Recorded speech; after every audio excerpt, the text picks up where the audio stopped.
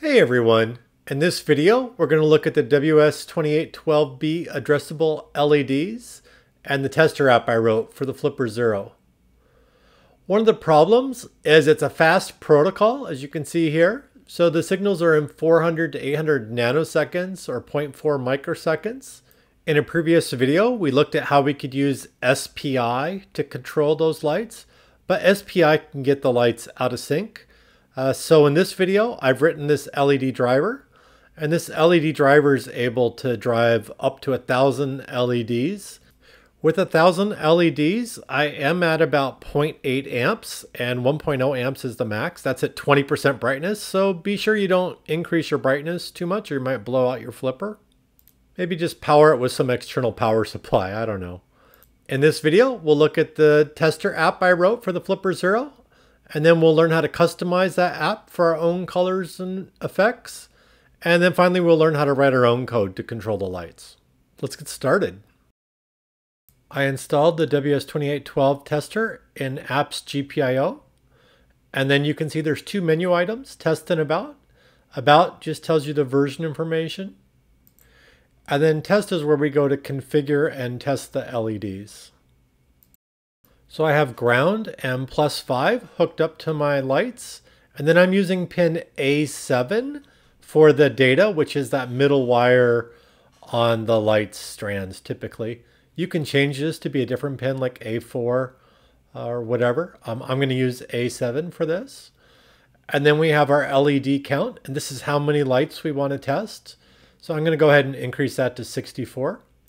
And then next we can choose the pattern we want to test. So different solid colors, and then different alternating color patterns.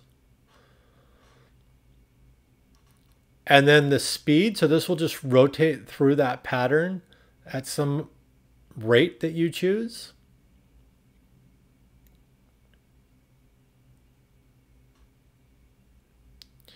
And then we have the brightness, so you can turn it down. Um, less current is used when there's less brightness. And if you turn it up, um, here's 25%, uh, 50% at, um, you can see we're pulling about 0.65 amps. The maximum the flipper can supply is about 1 amp. Uh, so don't exceed the 1 amp. And then that also includes, I think, your SD card in there. So if you do have a lot of lights, make sure you have an amp meter hooked up and that you're able to see how much current you're pulling. And then finally we have that enable 5 volt pin. So you can see that right now the power line I'm connected to 5 volts, but I can go ahead and connect this to the 3.3 volt instead. Uh, 3.3 has a 1.2 amp total, uh, but your current will change when you switch that voltage, so be careful of that. So here we can see I'm at like a quarter of an amp and I can do 1.2 amps, so we're doing fine. In Visual Studio Code, I copied the WS2812B tester project underneath Applications Users, and I'm on the official firmware. Your firmware needs to match whatever you're running on the Flipper Zero, and I'll put a link in the description for how to set up VS Code.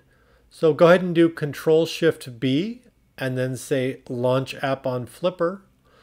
And this is going to deploy our application onto our Flipper. The application built and launched successfully. Make sure you close QFlipper so that you'll be able to deploy later. So next I wanted to add a new color sequence to the application. So we're going to go ahead and scroll down until we see those list of colors. There they are. Uh, so it says red, green, blue, white, and we're going to add one for magenta, cyan, magenta, cyan. And these are indexed starting at zero. So red is zero, and then green is one, and then blue is two, and so on. And so that means that we're actually at item eight. So next we're going to go ahead and scroll down until we see our cases for our different colors. And the last case we had was seven. So we're going to go ahead and add a case eight. And case 8 again is for magenta cyan, magenta cyan. And I'll just take this autocomplete, but it's incorrect. We're working with light, and the first two values here is how much red, and the next two is how much green, and the last two is how much blue. So it's RGB. And magenta is red and blue makes magenta. So we'll do FF00FF. And then cyan is green and blue makes cyan. So we'll do 00FFFF for cyan. And then we'll change this to magenta and then we'll change this to cyan. Make sure QFlipper is closed, then Control Shift B and launch app on Flipper. And then once that builds, we'll open QFlipper. And then we'll go into our lights and choose our pattern. And again, we added that magenta cyan to the last. There it is. It was hard to get a good picture, but you can kind of see the colors in the reflection on the monitor. Next, I wanted to add a green-red, green-red effect. And then we'll scroll down to our cases. And this is a new case. This will be case number nine. And it's green-red, green-red. And the autocomplete here actually looks okay. So green is 00FF00 and red is FF0000. So we'll go ahead and scroll down a little bit um, so here we're scaling the brightness, uh, figuring out how bright to make those lights. This is setting the GPIO pin that we're going to use for output. And then here's where we're actually setting the LED, which is setting that brightness at index I. So for the light that's at index I going from zero to that LED count, we are doing RGB and then if you look back up here, remember RGB had four values, 0, 1, 2, 3, with the different colors. And so we're doing RGB and then I, which is going from 0 to our LED count. And it's going to do I modulo and the count of RGB. And remember that count is, there's four of them, one, two, three, four. You can see that. And so it's I divided by the count and the modulo, so it's the remainder. So for 0, we're going to get 0 divided by 4 is 0. 1 is going to give us 1. 2 is going to give us 2. And when we get to 4, we're going to go back to 4 divided by 4 is remainder 0. So this just keeps looping, 0 to 3. Now I'm going to add, instead of i, we're going to do i divided by 16.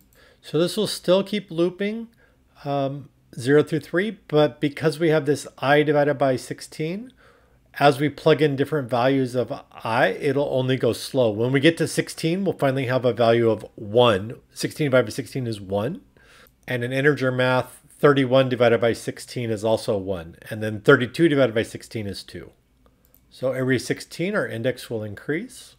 So Control Shift B, launch app on Flipper. And then we'll go in and we'll switch our LED pattern to that green, red, green, red pattern.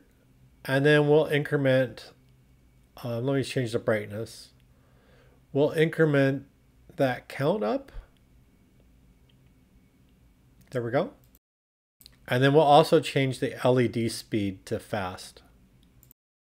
The lighting is a little hard to capture on the camera, um, but this looks pretty awesome with the green and red bars. And you can see those 16 groups. And then on our strip, we can also see 16. You'll be able to see there's the separator of the 16.